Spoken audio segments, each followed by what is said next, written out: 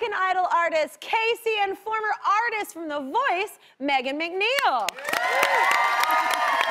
I love this. It's like blending my two worlds. I love it. I was so excited to have you both on. But each of you is doing something unique. So, Meagan, we'll start with you. You were on The Voice like right before I started, yeah, right? Yep. I, was just on missed you. Season 13. Yeah. Oh, that's, so that's the number Lucky today. number. Yeah. Um, so I think that was the season that Chloe Kohanski won, and I'm from Chicago, and so I landed on Jennifer Hudson's team, which was like, I love her. I'm Yes. obsessed with her. All right, well, we have a video actually of Meagan singing on Chicago's L Train recently that went viral. Take a look. Such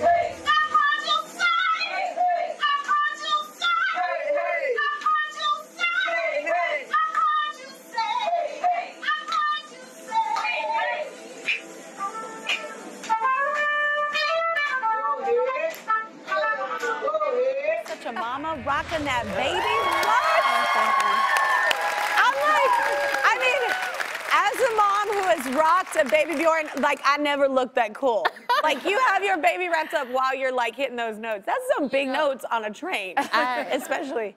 you know, we, I was like, I, out of all the singing that I've been doing, you know, this video of us on the train just kind of like chilling, hanging out, um, is the one that's gotten all this attention. But I'm like, it is the most authentic, like, expression of myself because I'm like, I'm not taking the stroller on the train. So what happened is a friend of mine, Avery Young, called me to be a part of this series, the Floating Arts Museum. And Avery, it's like, there's always performers on the platforms in Chicago, but we want to like push the boundaries, take it a step further, and like bring this musical experience to people on the train car. And I'm like, sign me up, I love it. He said, so we're gonna do this series called Soul L, and we're gonna bring the performance right on the train. And I said, well, I'm free that day, Avery, but I'm not getting a sitter, so I'm bringing my little baby with me. and instead of like putting the stroller on the train, I just wrapped him in this Moby wrap, and I said, God, come you look Mason." so cool. Thanks. I'm like, I, would have tried to do the same thing and it would have not been I'm that. Sure it would have been great. It would have been great. Um, but Mason, I sung uh, with him up until about eight and a half months being pregnant with him, so he's used to like all Yeah. of the music and everything. Didn't you find Oh it hard gosh. though? There at the end, like your diaphragm just changes, like the end of pregnancy. Oh I- my oh, not you. Oh, yeah, yeah, okay. yeah. Oh, No, I was no. like, Oh, oh, yeah. me neither. I've just heard about it. I am. Na- I nailed everything. Um, no, the end of my pregnancy, I, would- people wanted me to record something, and I was like, I was like, I couldn't get breath. No, it was It horrible. was, it was pretty awful. I know. I know. Um, Well, what's the goal behind these performances? So the Floating Arts Museum wants to connect people through arts, culture, and music.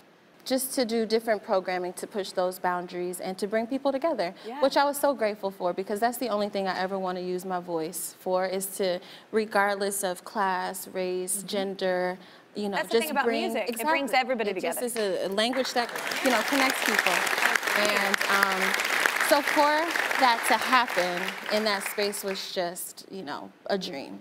And it doesn't get more Chicago than like deep house music on the train in you know. I think that's cool. I think that's going to become like a tourist attraction. You know, I people are going to be like, "Wait, that. have you done this?" Because I'd go. You were on season 13, right, with Jennifer Lopez? She was a judge. Yes. Yeah. And I do have to say, she's shockingly beautiful in person. It's annoying. Almost hard to look at. Almost hard to look at. I'm like, what? Uh, I had to do this thing with her, and I was like, they were like, we're Oh, gonna pretend like your clothes are switched, and I was like, because we obviously wear the same size. Kelly, Awesome. Thanks for pointing it out, jackass. We're going to talk about confidence and, and Yeah. self-beauty today. I have way so too we much. this. Listen, no, never enough, never enough. I do have a ton. No, but you have it's your You Matter kind of campaign, right? You do the concerts, You Matter concerts. So you know, I went on Idol, and it was amazing. It's it's it's a huge opportunity for artists. You get this national platform, and as I've been growing the standard artist route, Mm-hmm. I've also been doing this other concert that I run in schools, and it's called the You Matter Tour. Mm-hmm. And I have all these songs that I wrote as a kid that were about growing up. About being 13, 15, and 17. Mm-hmm. And I just wrote them because I was sad sitting on my bed at 15 years old yeah, because teenage years it's suck. really rough. and I now I go to schools and I'm like, yep, it is as bad as I remember it. Uh, but you know, I'm I'm able to take those songs that I wrote and I go to schools now and I use them as a jumping off point to talk to kids about what they're going through. It's really cool. It's hard. Junior and high school, those were hard, those were rough, awkward years. Um, but I love that it's also you you connect with people about bullying too.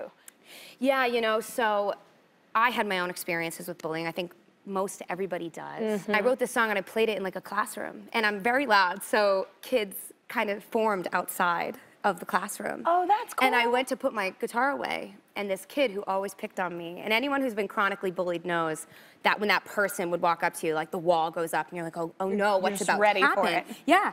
And he was like, was that you? Yeah. He was like, that was awesome. And he walked away. Oh, wow. And I realized that the same personality traits that I was being punished for having, like in life, are the ones that are celebrated on stage. And so when you go and you're so Wow. honest with your words and your lyrics, I found that it's always connected me with people, and that is holding true in this anti-bullying program. That's really cool, Casey. That's really cool. Did y'all have bullied? Were you bullied? Did y'all ever have that crap happen to y'all? Yeah, I was I was bullied. I've bullied. been bullying him this whole time. There's like a whole thing going on. I Love it. Someone's got a crush. it's how we like licked that. it was sensual. It was. Uh, yeah, I was bullied in like the fourth grade. My, my dad uh, was like, "Is he smaller than you?" And I'm like, "I was a small kid. This guy?" And uh, and I'm like, "Yeah, he's a lot bigger than me." And he's like, "Then just punch him right in the nose and run away." So I went. That's a Southern dad. That's Yeah. a, yeah, it was a Midwestern dad. They're kind, they're very similar. Yeah. And uh, so I did the next day at school. He came up to me and I was like, Ma, kank, and knocked him right in the nose and ran off. And then my aunt now works with the guy. And last Thanksgiving, she came up to me, Aunt Patty, she came up to me and was like, uh, hey Adam, can I talk to you for a second? And called me oh, like into another room. She's like, I didn't know you were a bully in elementary school. And I'm like, what are you? I'm not a bully. And she goes, do you remember Brian? And I'm like, Brian was my bully. Wait minute. You can't turn that around. Yeah, he was my bully. Oh my He's taking my gosh. bullying and twisting it around on him. He took your childhood from you. Yeah, he's, he's taking my bullying. right up. We have a message from a student in Boston, though, that Casey connected with. Take a look. Hi Kelly, I'm Samantha Madigan. I'm so thankful to have been given this opportunity to thank Casey McQuillen for all that she's done for me. She made me feel like even though I was different than everyone else at my school, I wasn't alone. Just because I like performing arts and everyone at my school plays sport, she showed me that there are others like me.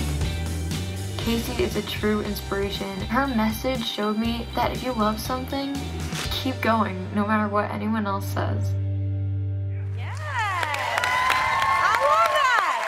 I will not stop talking until you subscribe to my YouTube channel. That's right, and I can talk a lot. Seriously, not gonna stop. Yep, still here, not going anywhere. I see you. Don't walk away from this.